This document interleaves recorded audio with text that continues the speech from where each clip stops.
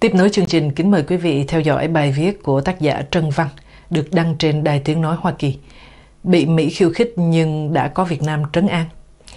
Trung Quốc vừa cáo buộc Mỹ gia tăng các hành vi khiêu khích Tại cuộc họp báo trực tuyến được tổ chức hôm 29 tháng 4, ông Ngô Kim, phát ngôn viên Bộ Quốc phòng bảo rằng từ khi ông Biden trở thành Tổng thống Mỹ đến nay, các hành vi khiêu khích bằng chiến hạm tăng 20% và các hành vi khiêu khích bằng thám sát cơ tăng 40%. Ông Ngô Kim dẫn trường hợp khu trục hạm USS Mustin theo sát hàng không mẫu hạm Liêu Ninh và hải đội hộ tống hàng không mẫu hạm này ở Biển Đông như một ví dụ cho cáo buộc vừa kể.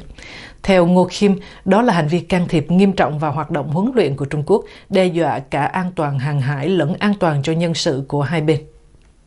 Phát ngôn viên Bộ Quốc phòng Trung Quốc cho biết Trung Quốc đã gửi kháng thư về trường hợp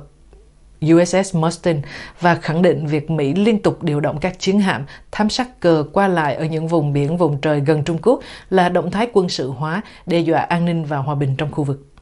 Trung Quốc vừa tổ chức kỷ niệm 20 năm vụ va chạm giữa một chiến đấu cơ của Hải quân Trung Quốc với một thám sát cơ của Mỹ ở gần đảo Hải Nam mà kết quả là phi công Trung Quốc thiệt mạng.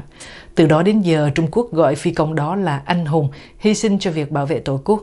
Mỹ thì chứng minh vụ va chạm đã xảy ra ở không phận quốc tế và phi công Trung Quốc tử nạn là do điều khiển chiến đấu cơ của ông ta liều lĩnh tới mức trở thành bất cẩn. Trước này, Trung Quốc không chỉ lên án sự hiện diện của Mỹ ở Biển Đông, nơi mà Trung Quốc tuyên bố thuộc về Trung Quốc, mà còn chỉ trích việc các chiến hạm của Mỹ băng qua eo biển Đài Loan. Ông Ngô Kim giải thích các chiến đấu cơ của Trung Quốc không xâm phạm không phận Đài Loan mà là giám sát phần lãnh thổ Trung Quốc, thấy chưa cần dùng vũ lực để thu hồi, đồng thời nhắn Đài Loan rằng những nỗ lực ngăn cản sự thống nhất của họ giống như châu chấu đá xe. Mới đây trong một cuộc trò chuyện với Brighton Sky News, ông Joseph Ngô, Bộ trưởng Quốc phòng Đài Loan nhận định dường như Trung Quốc đang chuẩn bị cho bước cuối cùng tấn công Đài Loan. Nhưng Đài Loan là quốc gia của chúng tôi và dân tộc chúng tôi sẽ kháng cự đến cùng để bảo vệ mình. Khác với Đài Loan, bất kể tình hình Biển Đông, Việt Nam vừa tổ chức đón tiếp trọng thể Thượng tướng Ngụy Phượng Hòa, Ủy viên Quốc vụ Bộ trưởng Quốc phòng Trung Quốc. Tướng Hòa đến Quảng Ninh, Việt Nam tham dự giao lưu hữu nghị quốc phòng biên giới Việt Nam Trung Quốc lần thứ 6. Sau đó đi thẳng về Hà Nội gặp cả Tổng bí thư Đảng Cộng sản Việt Nam lẫn Chủ tịch Nhà nước Cộng hòa xã hội chủ nghĩa Việt Nam. Tờ Nhân dân, cơ quan ngôn luận của Ban chấp hành Trung ương Đảng Cộng sản Việt Nam trịnh trọng gọi ông Hòa là đồng chí. Tờ Nhân dân chỉ tường thuật Bộ trưởng Quốc phòng Trung Quốc nhấn mạnh với Chủ tịch Nhà nước Cộng hòa xã hội chủ nghĩa Việt Nam rằng Trung Quốc và Việt Nam có mối quan hệ đặc biệt, có truyền thống lâu đời. Nhân dân hai nước vừa là đồng chí vừa là anh em.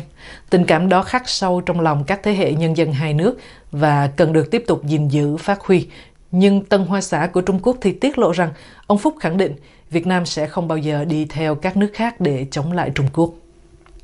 Với những gì đã cũng như đang xảy ra trên Biển Đông và trong bối cảnh như hiện nay, một số người không tin Chủ tịch Nhà nước Cộng hòa xã hội chủ nghĩa Việt Nam lại thay mặt hệ thống chính trị, hệ thống công quyền Việt Nam đi cam kết với Trung Quốc như tờ Tân Hoa xã đã loan báo. Tuy nhiên, đến nay, chính quyền Việt Nam chưa có bất kỳ tuyên bố nào phản bác lại Tân Hoa xã, bất kể phản bác ấy hết sức quan trọng cả về đối nội lẫn đối ngoại. Vậy, Tân Hoa xã của Trung Quốc có bịa đặt hay không?